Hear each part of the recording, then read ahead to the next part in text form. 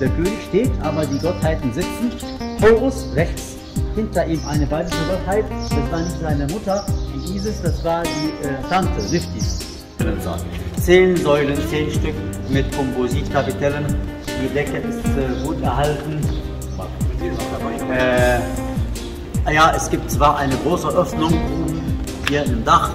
Wenn man nach oben schaut, merkt man schon, dass äh, der Fries ziemlich gut erhalten ist. Skarabäus auf einer Barke. Es geht jetzt um den Sonnenaufgang. Skarabäus, äh, Käfer, war ein Symbol für die Auferstehung und Symbol für die aufgehende Sonne.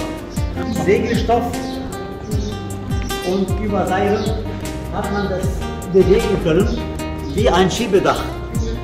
Aufmachen oder zumachen, je nach dem Bedarf. Ob man mehr Licht oder wenig, wenig Licht haben wollte.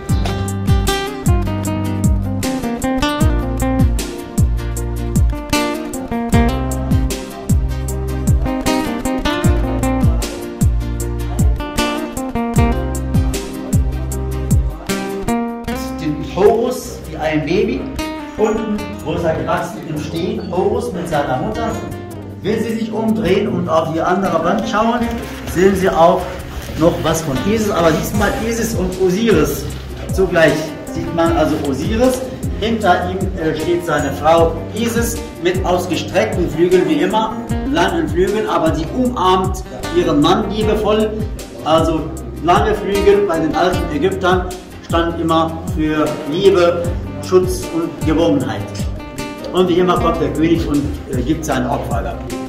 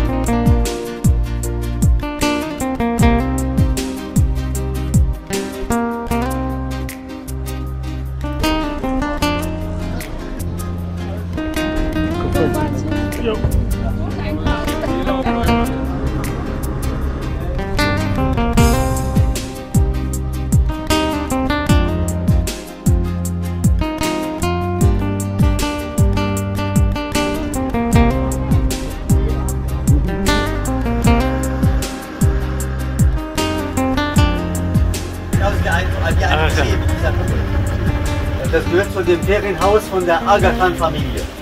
Das Mausoleum selbst ist oben, ähm, hat eine Zentralkuppel oder Hauptkuppel, die große Kuppel. Und an den vier Ecken, diese kleinen Kuppel, die äh, nennt man Verschönerungskuppel oder Eckkuppel. Das gibt es auch in manchen Moscheen. Wie in einer Moschee zirkuliert die Kuppel die Luft in den Innenraum drin.